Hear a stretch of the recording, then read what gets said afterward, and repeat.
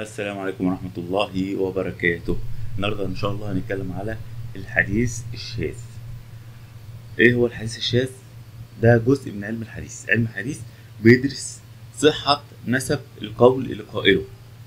يعني الرسول صلى الله عليه وسلم قال حاجة تمام؟ أو نسب ليه حاجة إن هو اللي ليا إن هو قال كلام. هل هو فعلا قال الكلام دوت ولا في واحد كذاب نسب الكلام ليه؟ هل الصحابي قال الكلام ده ولا لأ؟ هل التابعي قال الكلام ده ولا لأ؟ وينفع إن علم الحديث ده ناخد القواعد بتاعته ونطبقها على بقية العلوم مثلا في علم الطب نتأكد. هل ابن سينا قال الكلام ده ولا لأ؟ اتنشر ح- كلام كتير جدا. هل الكلام ده صحيح ولا لأ؟ مثلا في حاجة في التاريخ مثلا عن الملك فاروق أو كده في ناس كتير بتقول إن هو كذا وفي ناس بتقول لأ ما حصلش وكذا وكذا. فالفكرة كلها هل قال كلام من ده اللي صح تمام؟ طب نركز بقى على كلمة الحديث الشاذ. إيه هو الحديث الشاذ؟ إن يجي واحد ثقة يروي مخالف لما هو أوثق منه. يعني في واحد ثقة وفي واحد أوثق منه اعلم منه وروى حاجة مخالفة ليه. تمام؟ أو عدد من الناس. يعني الراجل ده قال حاجة وفي ناس مجموعة كانوا موجودين في الموقف ده وقالوا الكلام بشكل آخر نهائي. اختلفوا في الحاجة. على سبيل المثال مثلا هتلاقي في صحيح مسلم حديث مشهور كله إحنا عارفينه الحمد لله اللي هو إيه؟ سبعة يظلهم الله بظل يوم لا ظل إلا ظله منها ورجل تصدق بصدقة هو أخرج الصدقة بإيه؟ فأخفاها حتى لا تعلم شماله ما أنفقت يمينه وقال اللي انفقت اليمين فشماله مش عارفة. ففي واحد غلط والراجل ده ثقة مش كذاب وغلط وراح قايل إيه؟ حتى لا تعلم يمينه ما أنفقت شماله. تمام؟ فعندنا 20 واحد رواها بشكل وواحد بس رواها بشكل آخر. فده اسمه حديث شاذ. حديث مخالف الثقة في من هو أثق منه. فده راجل ثقة راجل ما بيكذبش بس ممكن يكون توهم أو سمع غلط أو هو بيقولها غلط فيها. فده بنسميه إيه؟ الحديث الشاذ. وده بيحل لنا مشاكل كتيرة جدا لما بنلاقي أقوال مختلفة فبنبدأ ندرس ونشوف أصح حاجة فيها. يبقى إحنا لما بنيجي ندرس عايزين نشوف الكلام الصح بنبدأ نشوف الروايات ونشوف الحاجات القوية والحاجات الضعيفة والحاجات الضعيفة دي بنبعدها وهكذا. دلوقتي بقى في ناس تخصصهم الكلام الشاذ. يعني ناس مهتمية بالش- بالشذوذ. بمعنى إيه؟ هو لما يجي يقول لك إن الرسول صلى الله عليه وسلم هاجر من مكة للمدينة ما إيه الجديد؟ ما, ما جابش جديد. فهو بقى إيه عايز يقول لك إن أنا علامة وكل الناس دي ما بتفهمش. فيقعد يدور على أي رواية شاذة ويقول لك إن أنا الوحيد اللي بفهم رغم إن كل الناس أو الناس اللي هي متخصصة في العلم دوت قرت الكلام دوت وقالت لك الكلام ده ما حصلش مثلا أو إن الكلام ده ما عليهوش أي دليل أو الراجل اللي بيقول الكلام ده بي بيقول حاجة وخلاص. تمام؟ يعني على سبيل المثال مثلا أنا بحب أقرأ كتير يعني ما بودعش إن أنا بفهم أو عندي علم أو إن أنا بترجم كلام بس بقرأ كتير. فساعات بلاقي روايات كتيرة بالذات إن أنا بركز على الكتب القديمة جدا اللي هي قريبة من الحدث يعني الحاجات الخاصة الإسلامية بدور على الحاجات اللي هي اتكتبت في أول مثلا 200 سنة. فتلاقي روايات كتيرة ليه عالم التاريخ يقول لك أنا هكتب الروايات كلها بالأسانيد وأنت تدرس. على سبيل المثال مثلا تيجي تلاقي مثلا آم، في بعض كتب التاريخ الواقعة بتاعت الجمل بين سيدنا علي بن أبي طالب ومعاوية تلاقي في مثلا 111 حديث مثلا في تاريخ الطبري. تلاقي 99 منهم غلط وهم مثلا 10 بس اللي صح. ليه؟ لأن في ناس كتيرة بتحاول تنصر اللي هي مقتنعة بيه فبتقول كلام كتير وفترة فيها حروف فالكلام مش مظبوط فبتلاقي فيه آه، حاجات كتيرة غلط. فأنت بتبدأ تنبش كده لحد ما تطلع إيه اللي حصل فعلا. وتبدأ تدرس أسانيد الرجال ولو واحد كداب في السنة بتشيله وتتأكد إن الكلام اللي موجود بس هو اللي صح. فهو يبدأ يدور على أي حاجة شاذة أي حاجة ما حصلتش.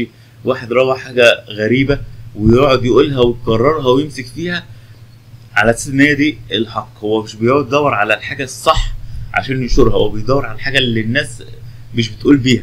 يعني يسأل كده أنتوا بتقولوا الأرض كروية مش كروية؟ إحنا قلنا الأرض كروية. يقول لك لا أنا عندي أدلة إن الناس الأرض مش كرويه يقعد يدور على الأدلة اللي العلماء ردوا عليها ويقعد يمسك فيها عشان يبين إن هو الوحيد اللي بيفهم وعالم من العلماء وإن الناس كلها جهلة. على سبيل المثال مثلا آه وأنا بقرأ في الكتب فلقيت مثلا إيه إن الرسول عليه السلام آه في الإسراء والمعراج جه صلى ركعتين في في سينا. إيه الرسول صلى الله عليه وسلم جه مصر وافرح بالحديث واقعد بقى اقوله واللي يكذب الحديث ده يبقى بيكره مصر وضد الريس ونقعد نشتم فيه. أخوانا الحديث ملوش أصل يعني. الحديث عالم التاريخ لازم يكتب كل الحاجات بالأسانيد وتدرسها وتشوف إيه الصح. هو الراجل بيقول لك أنا ممكن أكون الرواية اللي أنا خدتها ضعيفة بس واحد تاني يرويها بشكل حسن. فأنا بكتب الروايات كلها وأنتوا تعملوا فلتر للحديث وتختاروا الحاجات الصح. إحنا بنتكلم على منهج علمي يعني سواء في, في الكلام ده في التاريخ في في الثورة في الانقلاب في الحاجات دي كلها نقدر نمسك الروايات ونشوف إيه الرواية الصح. لما واحد كذاب مشهور بالكذب بيجي يقول حاجة فده مش بنعتبره أصلا شاذ يعني ده أصلا شرط الشذوذ إن اللي يروي ثقة. مش يروي واحد كذاب لا هو يكون واحد ثقة بس خالف من هو اوثق منه سواء في العدد أو في الكم كما قال البيكونيه وما خالف ثقة فيه المالات فالشاذ يعني الحديث الشاذ اللي يخالف الثقة فيه من أكثر منه ثقة أو عدد أو أو قوة. فتيجي مثلا تلاقي آه رواية أخرى مثلا تمام؟ آه النبي صلى الله عليه وسلم وده, ده موجودة في سيرة ابن هشام.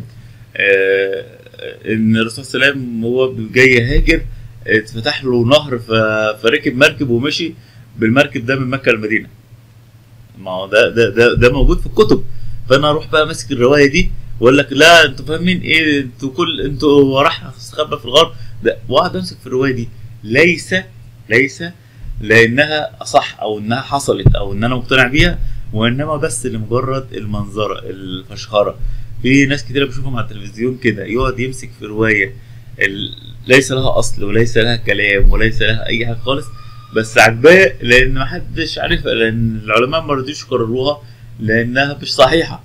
بس هو بيكررها ليه؟ عشان آه يقول لك أنا بقرأ وأنا هو فعلا بقرأ يعني بيقرأ كتير يعني ف آه أنا عرفت حاجة أنتوا ما تعرفوش يا عم ما إحنا قريناها وعارفينها وكل حاجة بس لم تصح فعشان كده مش هنقولها. يعني أنت بتدور على المعلومة الصحيحة مش بتدور على الحاجة اللي تثبت رأيك أو الحاجة اللي بتقوي أو الحاجة المنظره أو الحاجة من الحاجات ديت. ف هو بيقعد يتكلم مثلا بلغة فصحى بيتكلم بمنظرة بيتكلم بكذا. بس لما تيجي تاخد الكلام بتاعه وتديه لأهل التخصص تلاقيه بلح. يعني مرة كان بيدي محاضرة و...